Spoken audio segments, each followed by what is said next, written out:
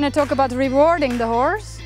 It's one of the most important parts in my opinion because when you when you have a horse that becomes eager for reward you will not need punishment because he will be eager to try so you will he will always search for that situation and he will actually train you to reward him by doing trying to do what you ask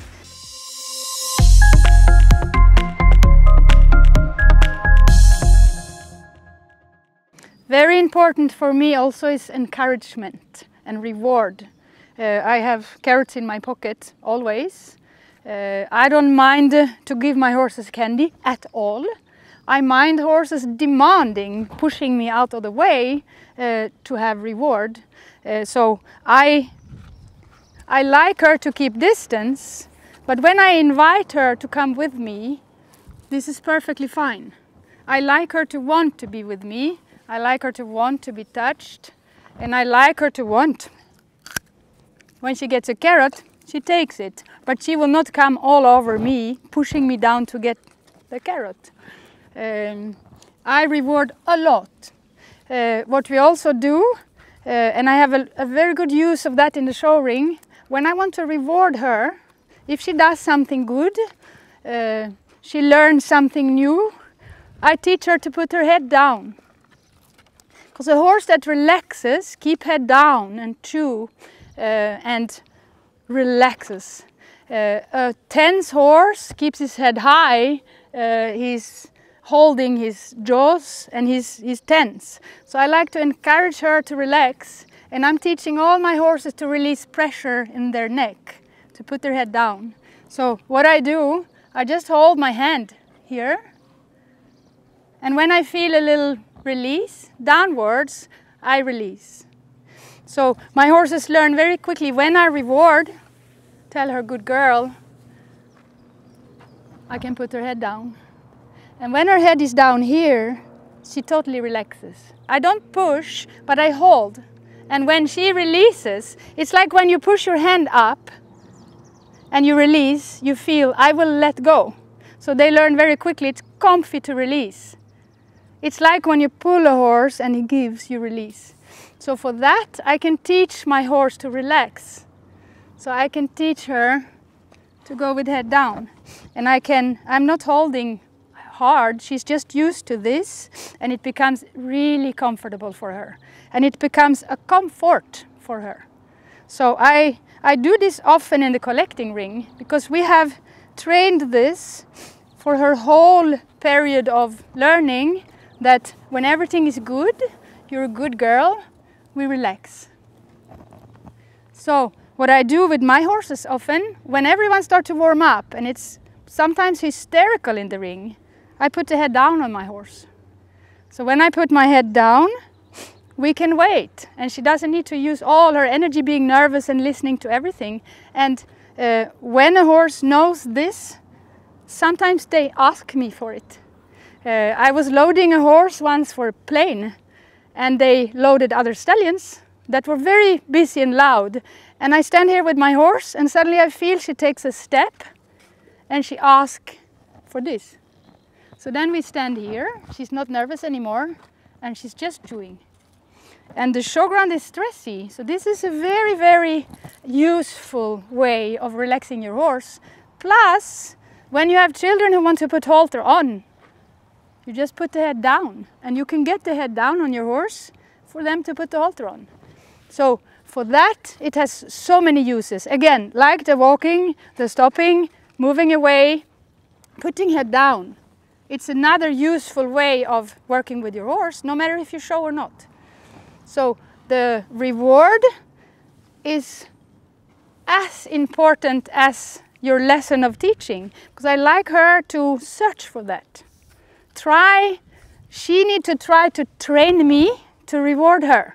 So she need to search for the behaviors that will make me come to her and to reward her.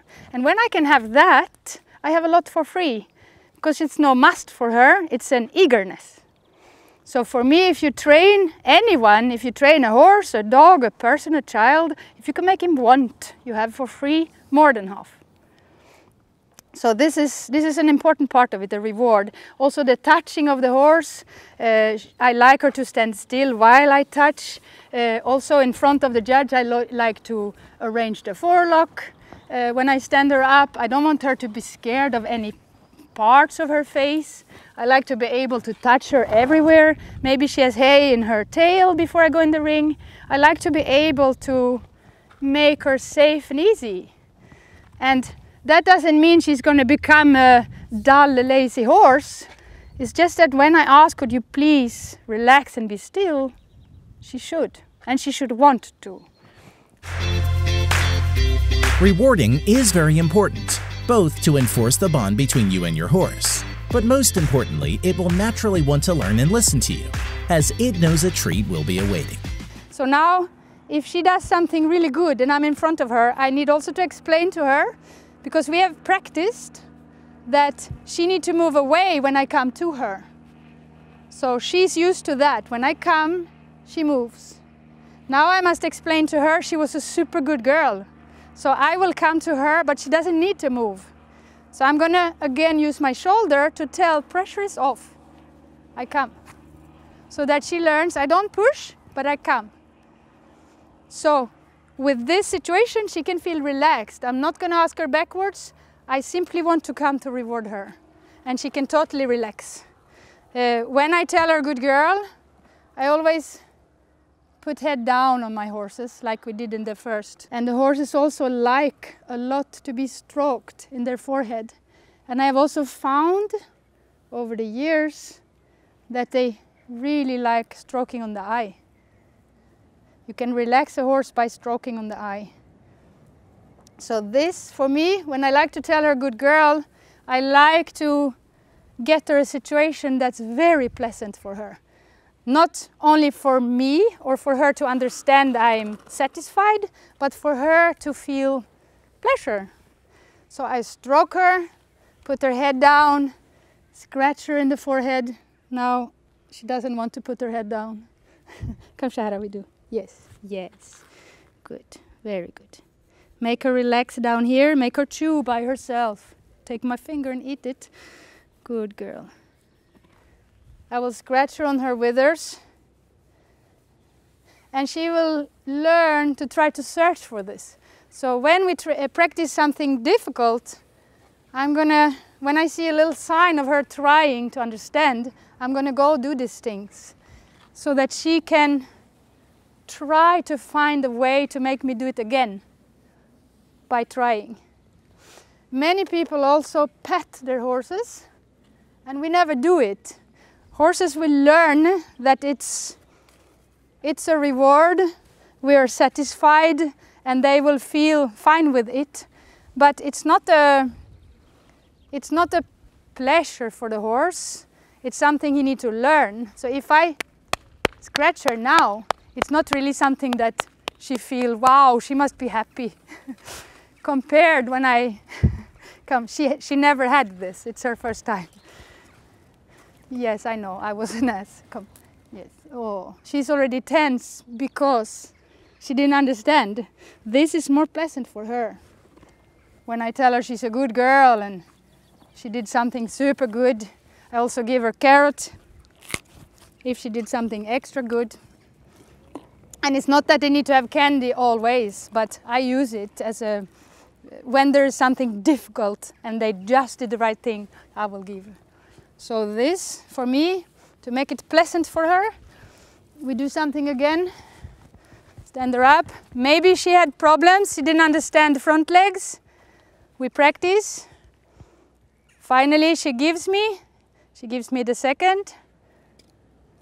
Good. I will immediately reward, move my shoulder, come to tell her, good girl. Oh, good girl. Yes, that's a good girl. Yes, that's a good girl. Yes. So I will show you the, the petting, the difference in her reaction to me. I'll turn her around.